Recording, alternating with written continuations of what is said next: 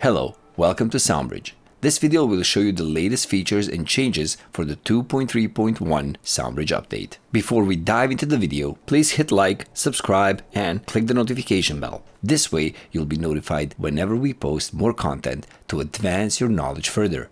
Let's start with the preferences. We have reorganized what used to be the options tab in the preferences into subdivisions. Hopefully this will make it easier for everyone to find the exact setting they are looking for quickly. Now, the new ones, and starting with blocks, here's where you can find all the settings related to the blocks in the sequencer. In this plugin section, you'll find everything about plugin settings. We have the recording section with all the recording settings, which houses a new setting, discard last partial take, which I will show you in a few moments. We have the GUI section. Here's where you will find all the previous GUI section settings plus some that were moved there from the earlier option sections like the floating widget switch and the restore widgets to default button right here. And we have the global section. So these are all global and they refer to the working of SoundBridge. Now that we have this out of the way, let me show you that discard last partial take setting in action. So I'm going to switch to a different project right here. I have set up a mono audio track. I'm going to record some audio, but in a loop. So I will start recording. As you may remember, recording audio in a loop causes the takes to be grouped into a take list. The changes we introduced is that when you stop recording, the last partial unfinished take is discarded. So you see that last partial take right there they just took up that much of the loop is discarded. If I move this entire block, you will see that the partial take does not exist. Now, if I go back into preferences, go into recording, and I disable this discard last partial take option, I will go back again, delete this, and I'll start recording again. So now you will see that no matter how many loop revolutions I record, once I stop in the middle, this last partial take is right there, you see? I can use it and I have my takes list as well. So that's the new switch explained. Let's go on. Now on the subject of recording, we've made some improvements with recording MIDI in a loop. As you might remember, when you recorded MIDI in a loop, you couldn't hear any of the previous takes while you're recording the next one.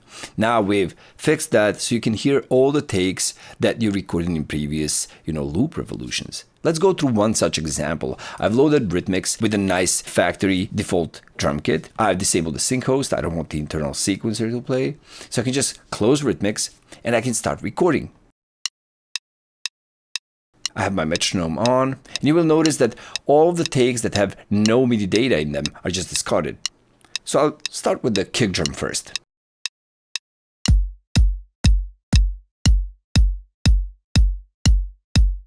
Let's add a snare.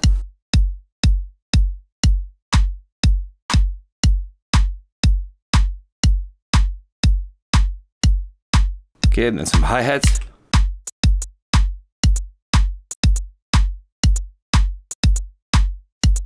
Maybe more hi-hats.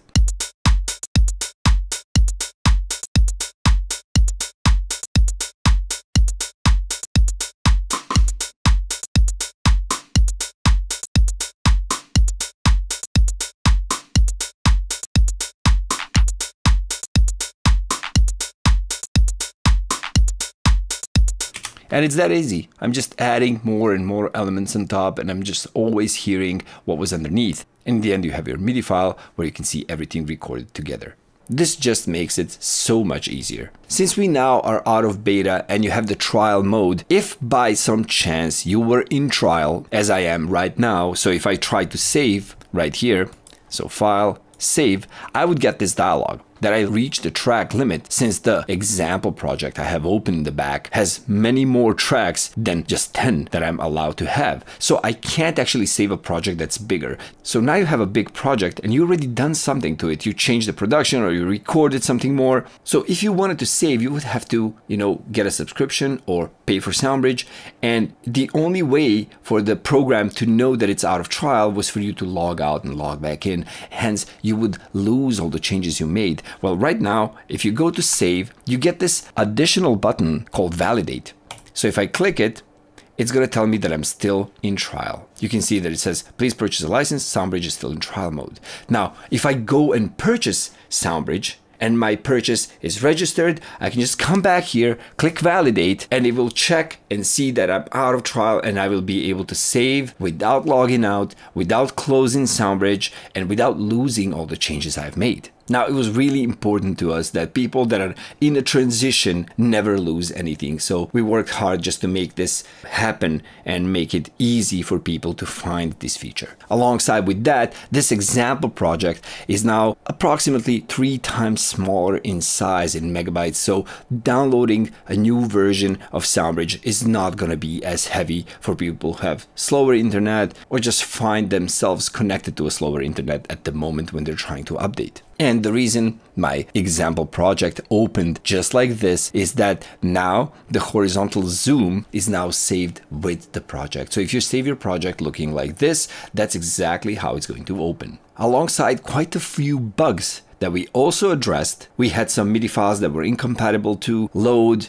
We had some 32-bit float files creating problems. So all that was fixed. Alongside with that, I wanted to show you the last feature we added. And that is when you go into browsers, all directories here, one, two, and three, their top level is going to be this. So you have this computer, desktop, downloads. It's going to be much easier to navigate. So wherever you are, you can always go back, back, back.